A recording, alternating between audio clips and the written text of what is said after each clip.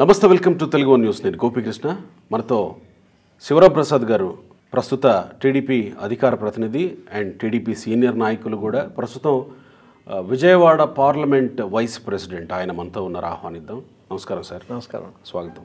శివరాం ప్రసాద్ గారు చాలా స్ట్రైట్గా మనం మాట్లాడుకోవచ్చు. ఇంతకాలం స్టేల్ మీద తిరిగాడు. ఇంతకాలం ఎన్ని కేసులు ఉన్నా ఏం చేయలేరు.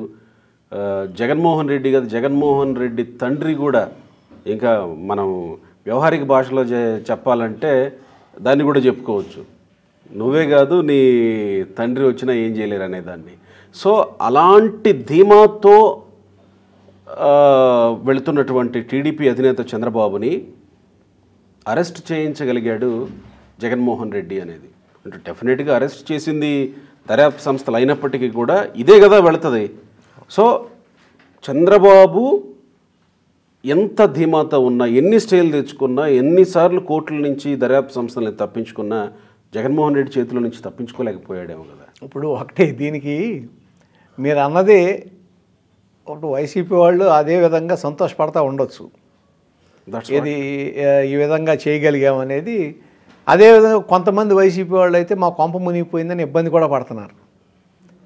కారణం ఏంటంటే చంద్రబాబు నాయుడు గారు చెయ్యలేదు. అవినీతి చేయలేదు. చేశారని ప్రూవ్ చేయడానికి నానా తంటాలు ఆపసోపాలు పడతారు పడ్డారు అనేది ఒక వాదన అయితే ఇప్పుడు రాజశేఖర రెడ్డి గారిది తీసుకుందాం గతంలో. ఆయన చంద్రబాబు నాయుడు గారి మీద అనేక ప్రయత్నాలు చేశాడు.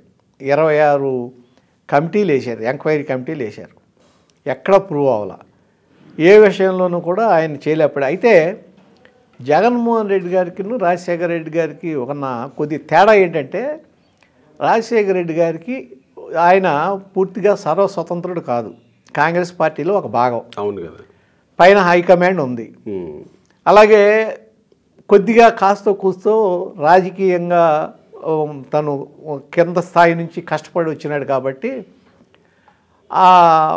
ఎక్కడా తను అన్యాయం చేసినట్టు ఉండకూడదు అనే కొంత ఏదో మూల ఆ విధంగా ఉండుండొచ్చు రాజశేఖర రెడ్డి. రాజశేఖర రెడ్డి ఉమ్. అందుకని ఏంటంటే ప్రయత్నం చేశాడు తప్ప అవుట్ ఆఫ్ ది వే వెళ్ళలేకపోయాడు. అవుట్ ఆఫ్ ది వే వెళ్ళలేకపోయాడు కాబట్టి ఆ- విధంగా జరగల. సో ఆ రోజు ఆయనకి అవన్నీ అడ్డున్నాయి. ఈయనకేమీ అడ్డు లేవు. ఈయన అవినీతి పరులని మేము ఏం అడ్డొచ్చినా కానీ మేము డెఫినెట్గా శిక్షిస్తాం అనేటువంటిది వాళ్ళు చెప్తున్నటువంటి. అని ఒక అవినీతి పరుడు చెప్తాడా? మీరు చెప్పిన మాట ఒక అవినీతి పరుడు ఈడీ కేసుల్లో సిబిఐ కేసుల్లో ఇరుక్కుని అక్కడ పూర్తిగా ఈ ఏ విధంగా మిస్అప్రోప్రియేషన్ జరిగింది ఏ విధంగా క్విడ్ ప్రోకో ద్వారా లాభపడ్డాడు అని చెప్పి ప్రూవ్ చేసి ఛార్జ్షీట్ కూడా ఫైల్ చేసిన వ్యక్తి పదహారు నెలలు జైల్లో ఉండి వచ్చిన వ్యక్తి బెయిల్ మీద బయట తిరుగుతున్న వ్యక్తి ఇవాళ ఏ పదకొండు సంవత్సరాలు అక్కడ విచారణలో ఎదుర్కొని తర్వాత నాలుగు సంవత్సరాల నుంచి కోర్టు కూడా అటెండ్ కాకుండా తప్పించు తిరుగుతున్న వ్యక్తి అవినీతి గురించి మాట్లాడతాం అంటే దెయ్యాలు వేదాలు వాళ్ళు ఇచ్చినట్టు. అంటే మాట్లాడకూడదా? మాట్లాడవచ్చు ఎవరు మాట్లాడాలి? ఎప్పుడు మాట్లాడాలి? మాట్లాడే ముందు మీకు మొత్తం ఆధారాలు ఉండాలి. ఆధారాలు ఉన్న తర్వాత మాట్లాడండి మీరు. తప్పు లేదు అది. కానీ నేను ఇప్పుడు ఏంటంటే ఇక్కడ బ్యాక్గ్రౌండ్ చిన్నప్పటి నుంచి పెరిగిన background factionist background factionist mentality. దానికి తోడు ఒక విధమైన ఎదురు తనని ఎవరు కాదన్నా సరే వాళ్ళ మీద పగ తీర్చుకోవాలనే సైకో మనస్తత్వం. ఇవన్నీ కలగలిపి ఇవాళ చంద్రబాబు నాయుడు గారిని ఏదో ఒక విధంగా అరెస్ట్ చేయాలి. నా మీద నే- నా మీద పడిన బురదని నేను ఎలాగో తీసుకోలేను. అది బురద కాదు. ఆయన మీద పడింది బురద కాదు అది ఫ్యాక్ట్. అవినీతి చెయ్యలేదు అని ఎవరూ నమ్మట్లేదు నన్ను. కానీ చంద్రబాబు నాయుడు గారి మీద ఇంతవరకు ఇంతకు ముందు వరకు నేను స్టేలు ఉన్నాయి అయ్యున్నాయి అని తప్పుడు ప్రచారం చేశాం. ఇవాళ స్టేలు లేవని అర్థమైపోయింది ఉన్నది వాస్తవం కాదా స్టేలు? ఒక్క స్టే లేదు. ఒక కేసు లేదు ఇవాళ. ప్రతిసారి వైసీపీ నుంచి అదే కదా వస్తుంటది. స్టేల్ మీద బతుకుతున్నాడు. అవన్నీ స్టేల్ మీద బతుకుతున్న వ్యక్తి చంద్రబాబు అనేదే కదా. అదే కదా, మేము- స్టేల్ కాదు ఇక మీద నేరుగా అట్టికాలకు లోపలేసాం అనిపించుకున్నారు కదా ఇప్పుడు. అదే కదా చెప్పేది. పద్దెనిమిది స్టేలు ఉన్నారన్నారు. పద్దెనిమిది కేసులు ఎప్పుడో కొట్టేశారు. వీళ్ళు చెప్పిన దాంట్లో ఆఖరిలో కూడా విజయమ్మ గారి ద్వారా ఒక కేసు వేస్తే కోర్టు మందలించి ఒకే కేసుని పేర్లు మార్చి అడితిప్పి తిప్పి వేస్తారా? మీరు కేసు ఉపసంహరించుకుంటారా? దీని మీద అది చర్య చేసుకున్నట్టున్నారుగా? చర్య తీసుకోమంటారా? అని అడిగితే విడ్రా చేసుకుందా. చేసుకున్నారు అవును అవును. అటువంటి కేసులు పెట్టి ఆ కేసుల్లో ఎక్కడ ఏది అసలు ప్రూవ్ అవ్వకుండా స్టే అనేది లేకుండా కేసు కొట్టేసిన తర్వాత ఇవాళ ఇవాళ ఉన్న కేసులే ముప్పై రెండు కేసులు ఉన్నాయి జగన్మోహన్ రెడ్డి గారి మీద. ముప్పై రెండు కేసులు. కానీ చంద్రబాబు నాయుడు బాగా వ్యవస్థల్ని మేనేజ్ చేసే వ్యక్తి కాబట్టి అవన్నీ చేసుకోగలిగాడేమో వాళ్ళు చెప్తున్నట్టు. వ్యవస్థల్ని? మేనేజ్ చేసుకోగలిగే వ్యక్తి జగన్మోహన్ రెడ్డి గారు ఏ వ్యవస్థల్ని మేనేజ్ చేసి ఈ విధంగా ఇన్ని కేసులు ఉన్న తర్వాత నాలుగు సంవత్సరాల నుంచి కోర్టుకి అటెండ్ కాకుండా తప్పించి తిరుగుతున్నాడు? అవినాష్ రెడ్డి అనే వ్యక్తి బాబాయ్ హత్య కేసులో అనుమానితుడని సిబిఐ నిర్ధారించి అతన్ని విచారించడానికి పిలిస్తే మూడు రోజులు కర్నూలులో. లా అండ్ ఆర్డర్ ఉందా ప్రాబ్లం ఉందని అదని ఇదని చెప్పి అక్కడ అరెస్ట్ కాకుండా చేసి ఆఖరికి కోర్టులో ఫైల్ చేసి ఏది మన రిమాండ్ రిపోర్టు ఫైల్ చేసి ఛార్జ్షీట్ ఫైల్ చేసేసిన తర్వాత అక్కడికక్కడే బెయిల్ ఇప్పించి తప్పించింది ఎవరు? అంటే వ్యవస్థను మేనేజ్ చేసింది ఎవరు? చంద్రబాబు నాయుడు గారు వ్యవస్థను మేనేజ్ చేస్తేనే ఇవాళ జైల్లో ఉన్నారా? అది కూడా ఏంటి తప్పుడు కేసు ఆధారాలు లేని కేసులో ఇవాళ ఆయన లోపలికి వెళ్ళారా ఎవరి వ్యవస్థను మేనేజ్ చేసింది? మీరు జగన్మోహన్ రెడ్డి గారి మనస్తత్వం చూసుకోండి ఎప్పుడైనా సరే. ఆయన ఏదైతే చేస్తాడో దాన్ని ఎదుటి వాళ్ళ మీద ఆపాదిస్తాడు. మీరు గతంలోకి వెళ్ళండి. Pink diamond. ఏది? పింక్ డైమండ్ ఏది? మరి ఆయనే పింక్ డైమండ్ గురించి లేదని చెప్పి ఆయన బాబాయ్ సుబ్బారెడ్డి గారు చెప్పాడు కదా పింక్ డైమండ్ అనేది లేదని చెప్పి. సరే శేఖర్ రెడ్డి. ఆయన టీటీడీ బోర్డు మెంబర్గా ఇచ్చావు చంద్రబాబు నాయుడు గారు నీకు ఆయన బినామీ అన్నావు. మరి ఇవాళ రెండుసార్లుగా ఈయన గవర్నమెంట్లో ఆయన టీటీడీ బోర్డు మెంబరు. అంటే నీ బినామీ ఆయన. నీ బినామీని ఆ గవర్నమెంట్లో పెట్టించావా? వేరే వాళ్ళ చెప్పి. ఇలా తీసుకుంటే ఇటువంటి ఉదాహరణలు చాలా ఒకటి కాదు ఒక వంద చెప్పచ్చు. జగన్మోహన్ రెడ్డి గారు ఎప్పుడు కూడా ఆయన చేయబోయేది ఎదుటాళ్ళ మీదకు ముందే తోసేస్తాడు. బాబాయ్ హత్య కేసు తీసుకోండి. నారాసుల రక్త చరిత్ర అని పేపర్లో ఫుల్ పేజ్ చేశాడు కదా. ఇవాళ ఎవరే రక్త చరిత్ర అది? ఏ కుటుంబ రక్త చరిత్ర? వైఎస్ కుటుంబ రక్త చరిత్ర కాదా అది? జగనాసుర రక్త చరిత్ర అని చెప్పాలి అప్పుడు ఇటువంటి తీసుకుంటే చాలా ఉన్నాయి. చంద్రబాబు నాయుడు గారి మీద ఒక్క ఆధారాలు లేకుండా కేసు ఆధారాలు లేకపోతే రిమాండ్ రిజెక్ట్ అవ్వాలి కదా సార్ ఏసీబీ కోర్టులో. రిమాండ్కి ఎందుకు ఇవ్వాల్సి వచ్చింది? జడ్జి పరిశీలించాక వాళ్ళు. వాళ్ళు ఏమడిగారు. మేము కొన్ని నిరూపించుకోవాలి కాబట్టి రిమాండ్కి ఇవ్వండి అని అడిగారు. ఇది జ్యుడిషియల్ రిమాండ్. అంటే నిందితుడు ఆధారాలు ఉన్నాయని ఆయన జైలుకి పంపలా. జగన్మోహన్ రెడ్డి గారిని ఆధారాలు ఉన్నాయని జైలుకి పంపారు. చంద్రబాబు నాయుడు గారిని పంపింది ఇవాళ ఇవాళ ఆయన్ని రిమాండ్కి ఇచ్చింది దేనికి? విచారణ చేయటం కోసం. వీళ్ళు విచారణ చేయటం కోసం. అంతేగాని ఇవాళ ఆయన తప్పు చేశాడని కాదు. మీరు చూశారు కదా నిన్న మరి ఆధారాలు ఏమీ లేవు అనుకున్నప్పుడు జ్యుడిషియల్ రిమాండ్ అనుకున్నప్పుడు బెయిల్ పిటిషన్ వేసి ఎందుకు బెయిల్ తెచ్చుకోలేకపోతున్నారు? వేసాం కదా. బెయిల్ పిటిషన్ ఉంది క్వాష్ పిటిషన్ వేశారు. క్వాష్ వేశారు కదా నేరుగా బెయిల్ ఎందుకు వేసుకో అసలు? క్వాష్ ఇప్పుడు కేసే తప్పు అంటున్నాం కదా. ఓకే. ఇప్పుడు ఆయన మీద పెట్టిన కేసే తప్పు. ఎందుకంటే ఒకటి మీరు ఒకటి ఒకటి ఉదాహరణ తీసుకోండి. మన ఈఎస్ఐ స్కామ్ అన్నారు. స్కామ్ అని దాంట్లో ఈ మన. అచ్చెన్నాయుడు గారిని ఇరికిచ్చి ఆయన్ని ఎనభై రోజులు జైల్లో పెట్టారు. స్కామ్ అని చెప్పి. దాంట్లో రిమాండ్ రిపోర్ట్ ఇచ్చినప్పుడు రిమాండ్ రిపోర్ట్లో ఏముందో తెలుసండి? Point number ten. దీంట్లో అవినీతి జరగలా ఒక్క రూపాయి ఖర్చు అవ్వలా వాళ్ళు ఏదైతే చెప్పారో అసలు ఆ పని మొదలే కాలేదు అని చెప్పి దాంట్లో ఉంది. అంటే పని మొదలు కాల ఖర్చు అవ్వలా రూపాయి క ఇది అవ్వలేదు అవినీతి ఎలా జరిగినట్టు? అంటే ఈలోపు ఎనభై రోజులు అచ్చెన్నాయుడు గారిని జైల్లో ఉంచి వాళ్ళ పైశాచిక ఆనందం తీర్చుకున్నారు కదా? ఇవాళ కూడా అంతే. చంద్రబాబు నాయుడు గారిని మేము వారం ఉంచాం పది రోజులు ఉంచామని చెప్పి పైశాచిక ఆనందం తీర్చుకోవడం తప్ప ఇవాళ వీళ్ళు ఎంత ఇబ్బంది పడితే అంత బ్రహ్మ అంత ఇదిగా వీళ్ళ పార్టీ పతనం స్టార్ట్ అయినట్టే. మీరు ఊహించారా ఇంత స్పందన ప్రపంచవ్యాప్తంగా అన్ని దేశాల్లో కానీ హైదరాబాద్ కానీ ఇటు ఆంధ్రప్రదేశ్ ఆంధ్రప్రదేశ్లో అంటే ఎలాగో ఉంటుంది. ఈ హైదరాబాద్ లేకపోతే తెలంగాణలో వస్తున్నటువంటి స్పందన ఇది ఊహించారా? టీడీపీ నాయకులుగా? ఇప్పుడు మొదట్లో మొదటి రోజునైతే అందరం ఏంటంటే కొంత ఏంటి ఎలా అయింది అనేది ఒక డిప్రెషన్ ఒకరోజు ఆ, ఆ విధమైన మూడ్లో ఉన్నారు తెలుగుదేశం పార్టీ అంత.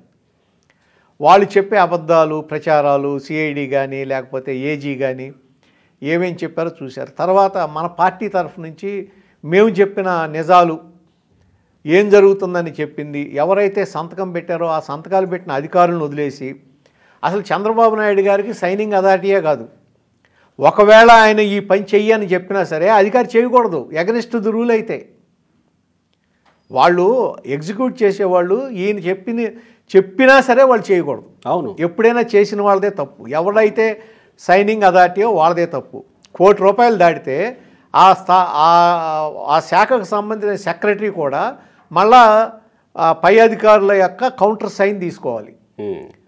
చీఫ్ సెక్రటరీ కౌంటర్ సైన్ తీసుకోవాలి రిలీజ్ చేయడానికి అటువంటిది మరి మూడు వందల డెబ్బై కోట్లు డెబ్బై ఒక్క కోట్లు రిలీజ్ చేశారన్నారు నాలుగు సార్లుగా. ఆ రిలీజ్ చేసినవి కూడా ఎవరికి చేశారు? షెల్ కంపెనీలు అంటున్నారు కదా వీళ్ళు. ఏ ఒక్క షెల్ కంపెనీకి వెళ్ళినా డబ్బులు. డిజైన్ టెక్ వెళ్ళి డిజైన్ టెక్ ఈ మా ఈ ఎంఓయూలో పార్ట్నర్. డిజైన్ టెక్ ఇచ్చారు. డిజైన్ టెక్ కొనుగోలు చేసింది. అది కూడా జిఎస్టీకి సంబంధించిన ఇది ఉంటే అది చంద్రబాబు నాయుడు గారికి గవర్నమెంట్కి ఏం సంబంధం? దానికి సంబంధం ఏంటి? అంటే బట్టతలకి మోకాలకి ముడేయటం. ఏదో ఒక విధంగా చంద్రబాబు గారిని ఇరికించాలనే ప్రయత్నం. ఒకవేళ ఇదే కనుక తప్పు అయితే ఈ వాస్తవాన్ని ప్రజలు గ్రహించారని అనుకుంటున్నారా? గ్రహించారు. గ్రహించారు. అందుకే ఇలాంటి స్పందన వస్తుంది అందుకే స్పందన వస్తుంది. అదే కాకుండా ఇప్పుడు ఐ ఇప్పుడు నేను ఈ విషయానికి వచ్చేటట్టు కొద్దిగా ప్రజలకు కూడా అర్థం అవ్వాలి. ఎందుకంటే ఇప్పుడు ఇక్కడ ఉన్న ప్రేమచంద్రారెడ్డి అనే ఆయన అక్కడ ఆ శాఖ సెక్రటరీగా ఉన్న ఆయన ఆయన సైన్ చేశాడు. అట్లాగే అజయ్ కల్లాం రెడ్డి గారు ఇవాళ ఈ జగన్మోహన్ రెడ్డి గారి గవర్నమెంట్లో ప్రభుత్వ ముఖ్య సలహాదారు. వీళ్ళిద్దరు సంతకాలు ఉండగా వీళ్ళిద్దరిని వదిలేసి అసలు వీళ్ళిద్దరిని విచారించకుండా చంద్రబాబు నాయుడు గారిని విచారిస్తా పదమూడు సంతకాలు ఉన్నాయని ఊరికే ఏదో మసిపూసి మారేడుకాయ చేస్తున్నట్టుగా ఉంటే పదమూడు సంతకాలు బయట పెట్టమంటున్నాం మేము. బయట పెట్టండి. క్యాబినెట్ అప్రూవల్ లేదన్నారు. క్యాబినెట్ అప్రూవల్ ఉంది. బడ్జెట్ కేటాయింపులు ఉన్నాయి. బడ్జెట్ కేటాయించిన తర్వాతే ఎప్పుడైతే బడ్జెట్ కేటాయింపులు జరిగినాయో దానికి సంబంధించిన మొత్తం పీడీ అకౌంట్లోకి వెళ్ళిపోతుంది. ఆ పీడీ అకౌంట్ నుంచి డ్రా చేసి చేస్తారు. ఈ ఈ ఎక్కడ ఈ ప్రాసెస్లో ముఖ్యమంత్రికి కానీ మంత్రివర్గానికి కానీ సంబంధం ఉండదు. సో అవన్నీ క్లియర్గా ఉన్నాయా? కేబినెట్ అప్రూవల్స్ బడ్జెట్ కేటాయింపులు ఇవన్నీ మినిట్స్ ఉంటాయి కదా. మొత్తం అన్ని clear. రికార్డ్ రికార్డెడ్గా ఉంటాయి అన్ని రికార్డెడ్ కాబట్టే వాళ్ళు బయట పెడతలా. పోనీ అదేదో మీరు బయట పెట్టి ఇవిగోండి చూడండి బడ్జెట్ కేటాయింపులు చూడండి లేకపోతే చెప్పాం కదా, budget కేబినెట్ అప్రూవల్ చూడండి. కేబినెట్ అప్రూవల్ లేదు అనే విషయాన్ని చాలా క్లియర్గా వాళ్ళు చెప్పుకొచ్చారు మేము ఏ- అప్రూవల్ లేవు లేదు అనేది వాళ్ళు రిమాండ్ రిపోర్ట్లు అంటలేదు కదా. బయటకు వచ్చి అంటున్నారు. బయటకు వచ్చి మాట్లాడుతున్నారు. ఇప్పుడు బయటకు వచ్చి ఏజీను సిఐడి చీఫ్ రాజకీయ నాయకులాగా మాడుతున్నారు కానీ ఇప్పుడు సిఐడి చీఫ్ బయటకు వచ్చినప్పుడు ఏం చెప్పాలి? ఏదైతే కోర్టుకు సబ్మిట్ చేశారో ఆ పేపర్స్ గురించి మాట్లాడకూడదు అసలు. అతనికి సంబంధం లేదు. అతను చేయాల్సిన పని చేసిన తర్వాత has to wait for the court decision అంతేగాని అది వదిలేసి బయటకు వచ్చి లోకేష్ గారు పెట్టగానే వీళ్ళిద్దరూ వెళ్ళి ప్రెస్ మీట్ పెట్టి నవ్వులు పాలైపోయారు. ఇప్పుడు ఇక్కడ హైదరాబాద్లో ప్రెస్ మీట్ పెట్టి హైదరాబాద్లో రెండు స్టేట్లో నవ్వులు పాలయ్యారు. అక్కడికి వెళ్ళిపోయి జాతీయ స్థాయిలో అంతర్జాతీయ స్థాయిలో నవ్వులు పాలైపోయారు. ఇక మీరు అన్నది ఎందుకు వస్తుంది ఇంత స్పందన అంటే చంద్రబాబు నాయుడు గారు ఎప్పుడు విజనరీ. ఆయన ప్రజల మంచి కోసం భావితరాల భవిష్యత్తు కోసం యువకుల కోసం ఆలోచించే వ్యక్తి. ఆయన ఆలోచించిన తర్వాత ఇంజనీరింగ్ కాలేజీలు ఇవాళ ఇన్ని ఇంజనీరింగ్ కాలేజీలు రెండు స్టేట్లో ఉన్నాయంటే చంద్రబాబు నాయుడు గారి మూలానే. అంతకుముందు ఏమీ లేవు. మేము చదువుకునేటప్పుడు ఫీజు రింబర్స్మెంట్ వచ్చిన తర్వాత కదా ఇంజనీరింగ్ ఇంజనీరింగ్ కాలేజ్ వచ్చింది? ఇంజనీరింగ్ కాలేజీలు వచ్చిన తర్వాత ఫీజు రియంబర్స్మెంట్ ఓహోహోహో. ఇంజనీరింగ్ కాలేజీలు అనేది ఏర్పాటు చేసి ఒక ఎడ్యుకేషన్ని ప్రజలకు అందుబాటులో తీసుకొచ్చి యువకులకు అందుబాటులో తీసుకొచ్చిన ఆయన చంద్రబాబు నాయుడు గారు. అలాగే ఐటీ ఐటీలో కూడా ఈ విధంగా ఒక డెవలప్మెంట్ ఓరియంటెడ్గా ఈ భావితరాలకు భవిష్యత్తుకు బంగారు బాటలు వేసే విధంగా ఆయన చేశాడు కాబట్టి ఈ స్కిల్ డెవలప్మెంట్ ఏదైతే వీళ్ళు బుర్రజిమ్ముతున్నారో ఈ స్కిల్ డెవలప్మెంట్ ఇవాళ కూడా ఇంప్లిమెంట్ అవుతుంది. ఇవాళ కూడా స్కిల్ డెవలప్మెంట్ జరుగుతుంది. ఆ- ప్రాజెక్ట్ కంటిన్యూ అవుతానే ఉంది. మీరు అవినీతి జరిగిందంటే ప్రాజెక్ట్ ఎందుకు కంటిన్యూ అవుతుంది? దాంట్లో ఎవరైతే ఆ, రెండు లక్షల ఇప్పుడు మామూలుగా ఇంతకుముందు అయితే రెండు లక్షల పదమూడు వేలు అన్నారు. రెండు వేల ఇరవై ఒకటి వరకు. ఇవాళ వరకు దాదాపు మూడు లక్షల ఎనభై వేల మంది దాంట్లో ట్రైన్ అయ్యారు. ట్రైన్ అయ్యారు. ఎనభై ఐదు వేల మంది పైగా ఉద్యోగాలు వచ్చినాయి. ఉమ్. వాళ్ళు వాళ్ళకి తెలుసు దీని విలువేంటో. ఏ విధంగా ట్రైన్ అయిన తర్వాత ఉద్యోగాలు వచ్చినాయి అనేది ఆ కష్టపడే వాళ్ళకి వాళ్ళ వాళ్ళకి తెలుసు. జగన్మోహన్ రెడ్డి గారు వచ్చి ఐదు వేల రూపాయలకి ఏదో ఉద్యోగం కానీ ఉద్యోగం వాలంటీర్లకు వేశాడు.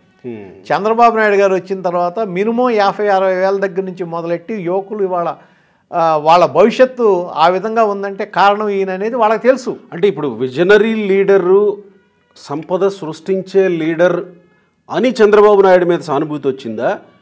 ఈ కేసు అక్రమ కేసు అని చంద్రబాబు నాయుడు మీద సానుభూతి అదే? చెప్తున్నా. ఒకటేమో గతంలో ఉన్న వాళ్ళు వెళ్ళిన వాళ్ళు చంద్రబాబు నాయుడు గారి విజన్ తెలిసిన వాళ్ళు ఒక సెక్టర్ ఈ స్కిల్ డెవలప్మెంట్ ద్వారా లబ్ధి పొంది లాభం పొంది దాని మూలన ఉద్యోగం సంపాదించుకుని దాని మూలన ఇవాళ బాగా ఉన్నాళ్ళు ఇంకొకడు ఎందుకంటే వాళ్ళు స్కిల్ డెవలప్మెంట్ ఎగ్జిక్యూషన్లో వాళ్ళు భాగమై ఆ ఉన్నారు దాంట్లో నేర్చుకుని వాళ్ళు వాళ్ళు ప్రత్యక్షంగా చూశారు కాబట్టి. ఎగ్జాక్ట్లీ స్కిల్ డెవలప్మెంట్ జరిగినప్పుడు ఆ సెంటర్లో ఉంటే వాళ్ళకి భోజన సౌకర్యాలు కూడా అక్కడ కల్పించాలి. ఐదు దాదాపు ఐదు వందల మంది పైన మీకు టీచింగ్ స్టాఫ్ని పెట్టారు. అక్కడ పెద్ద మీకు రో- రోబోల ద్వారా కూడా చూపించారు. మీకు అవన్నీ వచ్చినాయి కదా. అంత గొప్ప ప్రాజెక్ట్ని ఈ విధంగా చేస్తే రేపు పొద్దున ఆ స్కిల్ డెవలప్మెంట్ నుంచి వచ్చిన వాళ్ళందరూ ఈ సర్టిఫికెట్ని ఎవడు వాల్యూ చేస్తాడు? జగన్మోహన్ రెడ్డి గారు చంద్రబాబు నాయుడు గారి మీద పగ తీర్చుకోవాలా? లేకపోతే ఆయన కూడా తన స్థాయికి దిగజార్చాలి? నైతికంగా అనే ప్రయత్నం కొన్ని లక్షల మంది ఉద్యోగాలకి వెళ్ళే యువకుల మీద ప్రభావం చూపుతుంది. ఓకే. మీరు ఈ సర్టిఫికెట్ తీసుకెళ్తే ఇదే అవినీతి అనే పరిస్థితికి తీసుకొస్తున్నాడు. అవును ఒక ఫేక్ కంపెనీ కంపెనీ సర్టిఫికేట్ ఆ, పరిస్థితి తీసుకొస్తున్నాడు ఆయన. క్రియేట్ అయ్యే అవకాశం అది వాళ్ళకి తెలుసు. ఉద్యోగాలు చేసుకునే వాళ్ళకి లేకపోతే రేపు ఉద్యోగం కోసం వెళ్ళే వాళ్ళకి ఆ యువతకి తెలుసు. దీని దీని మూలన ఈయన్ని చేస్తున్న దాని మూలన నష్టమేంటి? స్కిల్ డెవలప్మెంట్ ప్రోగ్రామ్ అనే దా అనే బ్రాండ్నే ఈయన దెబ్బ కొడుతున్నాడు అనేది తెలుసు కాబట్టి ఇవాళ బాబు గారికి అనుకూలంగా జరిగింది అన్యాయం. ఆ రోజునంతా న్యాయంగా జరిగింది. అసలు ఏమీ అవినీతి లేని దాంట్లో అవినీతి అని చేయటం చెప్పి ఈ విధంగా చేశాడనే దాంతో యువకులు. మీరు అన్నారు కదా ఈ ఐటీ సెక్టర్ యువకులు కానీ ఉద్యోగాలు ఫారిన్లో ఉన్నాళ్ళు కానీ. అలాగే మహిళల దగ్గరికి వచ్చేటప్పటికి వాళ్ళు కూడా చూసుకున్నారు. అసలు ఏంటి ఏమీ లేని దాని మీద ఈ విధంగా జరుగుతుందని వాళ్ళు స్వచ్ఛందంగా బయటకు వచ్చే పరిస్థితి. ఇవాళ జగన్మోహన్ రెడ్డి గారు తన గొయ్యి తానే తవ్వుకున్నాడు. చంద్రబాబు నాయుడు గారిని అరెస్ట్ చేయటం ద్వారా తన గొయ్యను తనే తవ్వుకున్నాడు. తను ఏదో అనుకుంటే బూమరాంగ్ అయి ఆత్మహత్యకి ఆ పార్టీ పార్టీకి ఆత్మహత్య ఇది సదృశ్యం ట్రైలర్ మాత్రమేనంట కదా. అసలు అసలు సినిమా ముందు ముందు ఉందంట కదా. ఇంకా లోకేష్ పేరు ఇంకా కిలర్ రాజేష్ అని వీళ్ళ పేర్లు కూడా ఏవో వినబడుతూ ఉన్నాయి. వాళ్ళు నేరుగా చెప్తూనే ఉన్నారు మీడియా సమావేశాల్లో. ప్రజల్లో కూడా ఇది ట్రైలరే. ప్రజల్లో వ్యతిరేకత కూడా జగన్మోహన్ రెడ్డికి ఇది ట్రైలరే ఇంకా ఎన్ని చేస్తే అంత వ్యతిరేకత పెరుగుతుంది. ఈ నూట యాభై ఒకటి కాదు కదా ఏ స్థాయికి దిగజారిపోతాడో ఇక ఆయన అవినీతి చేశారని జైల్లో పెడితేనో లేకపోతే అవినీతి చేశారని అరెస్ట్ చేస్తేనో ప్రజల్లో పెరుగుతుంది సానుభూతి పెరుగుతుంది అని ఎట్లా అనుకుంటారు సార్?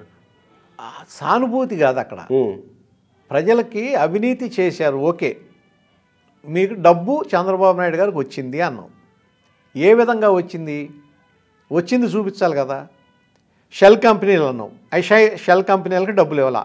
గవర్నమెంట్ నుంచి ట్రాన్స్ఫర్ చేసింది design tech company. Design tech company ఒక దీంట్లో పార్ట్నర్ ఎంఓఈలో పార్ట్నర్. దానికే వెళ్ళింది. కానీ చంద్రబాబు నాయుడు గారికి డబ్బులు వచ్చినాయి అంటున్నావు. ఒకసారి ఏమో మూడు వందల డెబ్బై ఒక్క కోట్లు అంటున్నాడు. ఒకసారి రెండు వందల నలభై ఒక్క కోట్లు అంటున్నాడు ఈ సిఐడిని ఒకసారి రెండు వందల డెబ్బై ఒక్క కోట్లు. అన్ని ఇన్ని ఇన్ని అంకెలు మారేదాన్ని ఏ విధంగా అవినీతి అంటారు?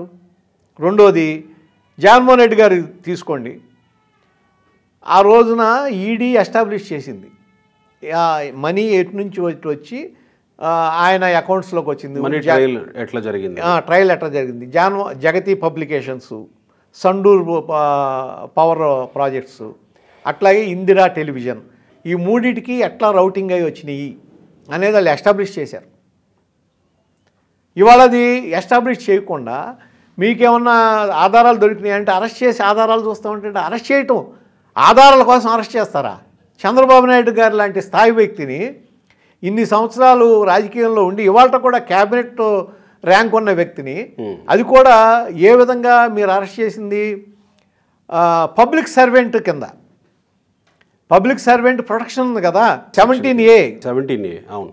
అది ఉంది కదా. ఎవరైతే అపాయింటింగ్ అథారిటీనో వాళ్ళ పర్మిషన్ తీసుకోవాలి. Appointing authority governor.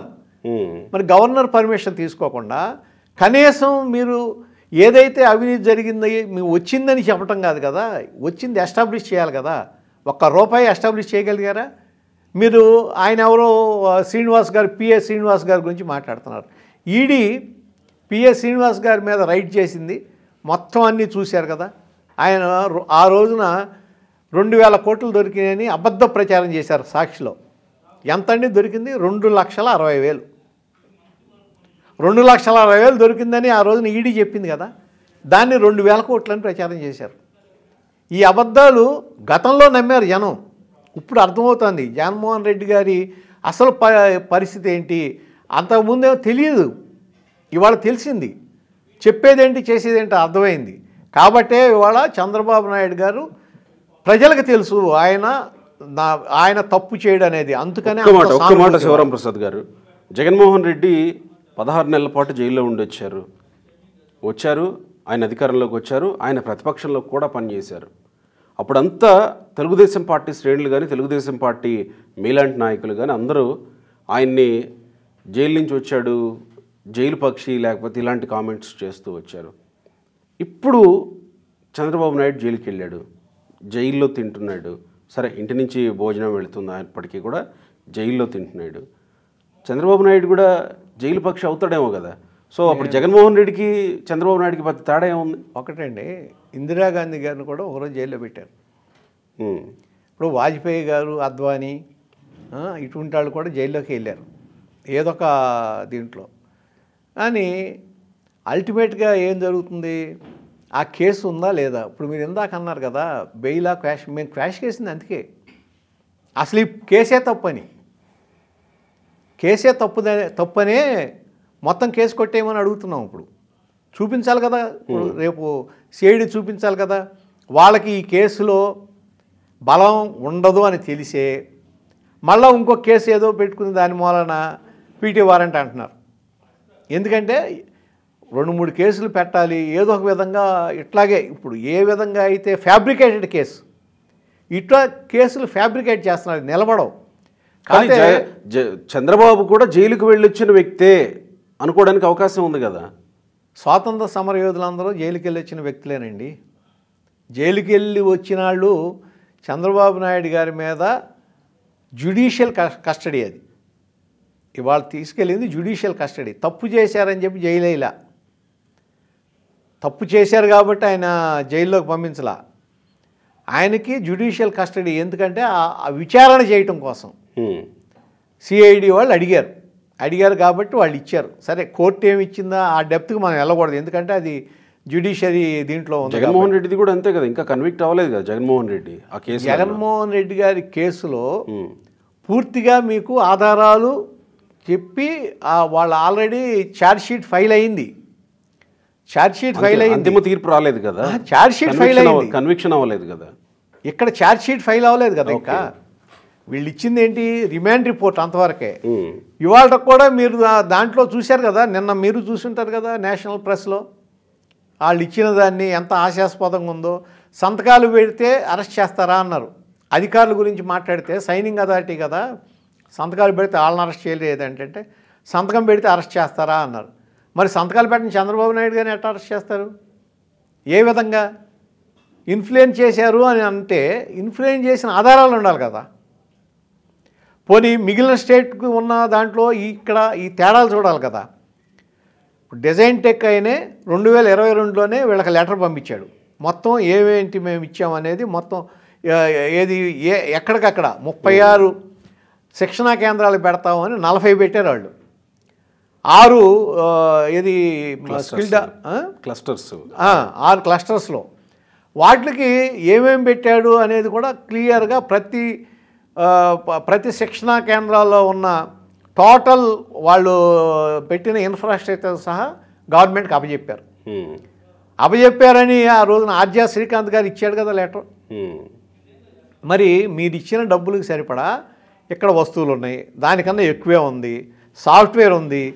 సిమెంట్స్ సంబంధం లేదంటే సిమెంట్స్కి దాదాపు వంద కోట్లు వెళ్ళింది. ఒక్క మాట ప్రజలు వాళ్ళిద్దరి మధ్య తేడాని గమనిస్తారా? గమనించారు జగన్మోహన్ రెడ్డి జైలుకి వెళ్ళొచ్చిన వ్యక్తి చంద్రబాబు జైలుకి వ్యక్తి. గమనిస్తారా కాదు? గమనించారు కాబట్టే బయటకు వస్తున్నారు స్వచ్ఛందంగా. గమనించారు అది అయిపోయింది కాబట్టే వాళ్ళు బయటకు వస్తున్నారు. ఖచ్చితంగా జగన్మోహన్ రెడ్డి గారు చేసిన పని అది కూడా ప్రూవ్ చేసుకోలేని పని ఫ్యాబ్రికేటెడ్ కేసుతో చంద్రబాబు నాయుడు గారిని ఏదో ఒక విధంగా జైల్లో పెట్టాలనే కోరికతో పెడతాం అనేది ఉంది చూసారా. అది ఆయన నెత్తిన ఆయన భస్మాసుర హస్తం పెట్టుకున్నట్టే. పవన్ కళ్యాణ్తో ఎప్పటి నుంచి మంతనాలు జరుగుతున్నాయి? కరెక్ట్గా సమయం కళ్యాణ్ చూసి సమయం చూసి ప్రకటన చేయమని జైలు నుంచి చాణక్యం రాజకీయ చాణక్యం చేశారు చంద్రబాబు అని అంటారు. కాదు కాదు అట్లా కాదు. అది ఇప్పుడు మీరు చూశారు కదా పవన్ కళ్యాణ్ని అక్కడ వైజాగ్ వెళ్ళినప్పుడు వీళ్ళు చేసిన చూశారు కదా. బయటికి రావడానికి వీల్లేదు.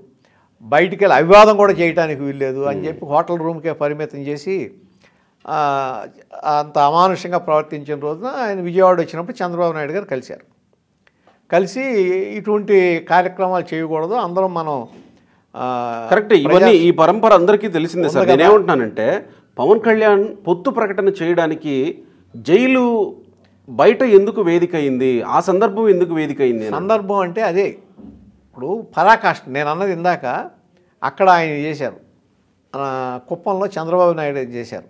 ఈ రెండు సందర్భాలు ఇద్దరు కలుసుకున్నారు.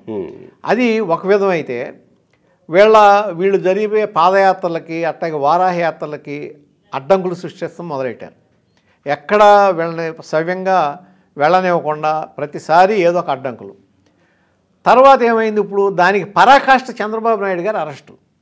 ఇదే విధంగా అరెస్ట్ చేయడం మొదలెడితే రేపొద్దున అందరినీ అరెస్ట్ చేస్తారు కదా? అంటే ఇక్కడ ఏమైంది? పార్టీలు విషయం వదిలేసి ప్రజాస్వామ్యం ప్రజాస్వామ్య పరిరక్షణ అట్లాగే రాజ్యాంగ పరిరక్షణ. ఈ ఏది? ఇక్క ఈ జగన్మోహన్ రెడ్డి గారు లాంటి ఫ్యాక్షనిస్ట్ చేతిలో రాజ్యాంగం పరిహసించబడుతుంది. పౌర హక్కులు ఉల్లంఘించబడుతున్నాయి. కాబట్టి మనందరం కలిసి ఉండాలని అక్కడికక్కడ డేషన్ తీసుకుని ఆయన ప్రకటించేశాడు. దానికి కారణం ఏంటి? లోపల నుంచి వచ్చిన ఆవేదన ఆవేశం. కానీ ప్రజల్లో వీళ్ళు ఆల్రెడీ అవగాహనలో ఉన్నారు. కా కేవలం ఈ కారణాన్ని సాకుగా చూపుకొని ఇప్పుడు ఏదో పొత్తులో వెళుతున్నట్టు నటిస్తున్నారు అని వైసీపీ నాయకులు మాట్లాడుతున్నటువంటి మాటలు ప్రజల్లోకి వెళ్ళవా? వైసీపీ నాయకులు ఏం మాట్లాడినా వెళ్ళవు. చంద్రబాబు నాయుడు గారు అరెస్ట్ తర్వాత వాళ్ళు చెప్పేవన్నీ వాళ్ళు మాట్లాడే మాటలు ప్రజలు ఏమన్నా రిసీవ్ చేసుకుంటున్నారా? కానీ ఒక్క మాట శివరాం ప్రసాద్ గారు ఇంత జరుగుతుంటే చంద్రబాబు నాయుడిని లోపలేస్తే సానుభూతి వస్తే పవన్ కళ్యాణ్ కూడా మళ్ళీ వచ్చి చంద్రబాబు నాయుడుతో కలిసి మేము పొత్తులో వెళతామని చెప్తే ఇదంతా ఊహించకుండానే జగన్మోహన్ రెడ్డి ఇలాంటి పని చేశాడు అని అనుకోగలమా? అంటే జగన్మోహన్ రెడ్డి గారు ఒకటి అనుకుని ఉంటాడు. చంద్రబాబు నాయుడు గారిని అంటే ఫ్యాక్షనిస్ట్ మనస్తత్వం అట్లాగే ఉంటుంది. ఏంటంటే బెదిరించి భయపెట్టి ఆ విధంగా మన మనం అనుకున్నది సాధించాలనేది ఫ్యాక్షనిస్ట్కి ఎప్పుడైనా ఉంటుంది. ఫ్యాక్షనిస్ట్ అధికారం వచ్చినప్పుడు ఇంకా అది ఎక్కు ఎక్కువ అవుతుంది.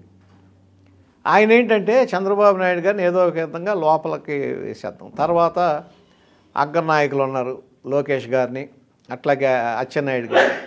వీళ్ళని వేసేస్తే డైరెక్షన్ ఉన్నదేమో నిర్వీర్యం అయిపోతుందేమో పార్టీ అనుకున్నాడు కానీ అతనికి తెలియదు ఏంటంటే తెలుగుదేశం పార్టీ నందమూరి తారక రామారావు గారు స్థాపించిన తర్వాత అనేక సంక్షోభాలు ఎదుర్కొంది అనేక సంక్షోభాల్లో ఎదురుదిరిగి పోరాడింది. కేంద్రంతో పోరాడటం కానీ ఇది కానీ ఇప్పుడు ఇవాళే మొదలు కాదు.